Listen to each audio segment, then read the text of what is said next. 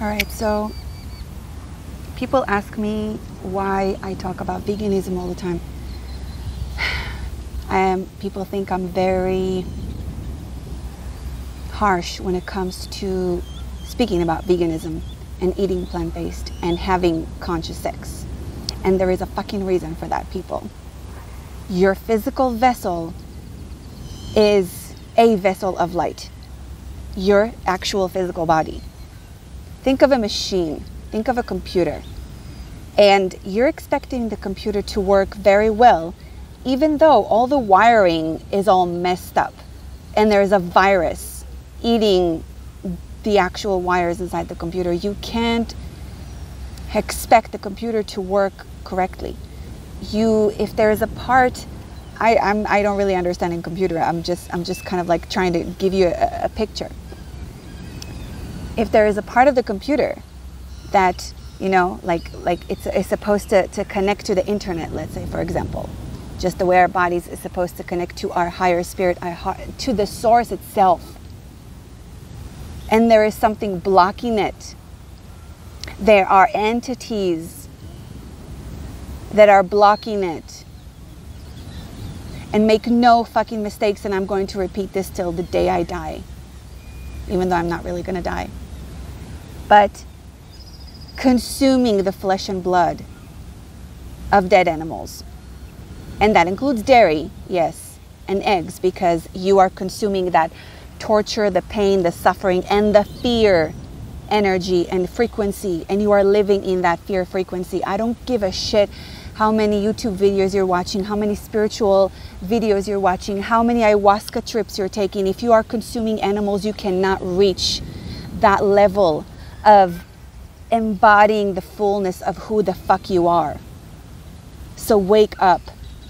And if you are having unconscious sex, you cannot, you cannot create a sacred union and you, you cannot reach those higher levels of your own light codes.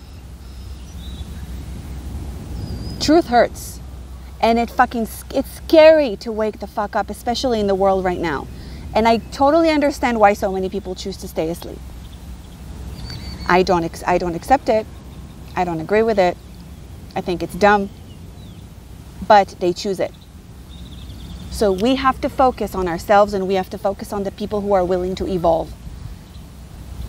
And the more people are, the more you find people getting out of your life, let them go quicker, quicker and quicker and quicker. This is probably going to sound weird for a bunch of you that listen to me for a while and think that I'm all about love and light, and I am all about love and light. But in a spiritual community, people think that love and light is, you know, sitting in a yoga pose all day and speaking about fairies. And don't get me wrong, I love fairies. I play with them all the time. Um, and um, thinking about the positive about everything and seeing the positive about everything. We are in a spiritual war. I don't think you get that.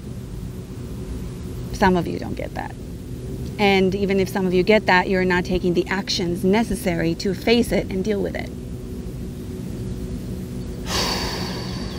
We need more men to wake the fuck up and be angry. We need the vibration and energy of anger, of passionate, loving anger that is connected to the heart and higher source of the man. Why?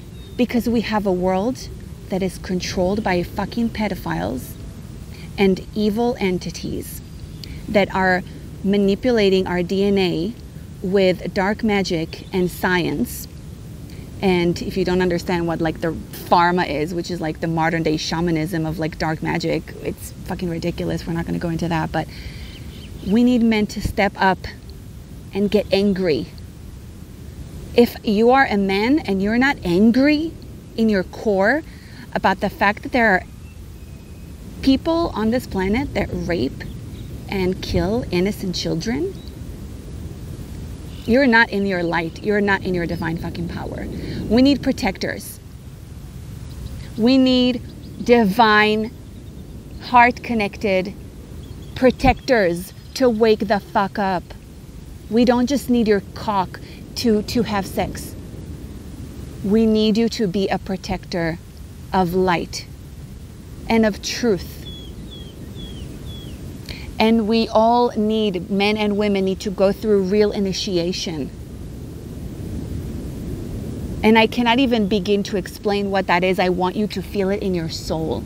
We have lost the, the, the, the full meaning of the rites of initiation to, to enter and embody our full power as humanity. So you get angry. Angry anger is a beautiful emotion. It is the first step. If you're not angry at what's happening in the world right now, you're not awake. We cannot stay in that anger. We transmute that anger into passion, into into physical action, but we don't stay there. But it is a very necessary step in that um, in that journey. So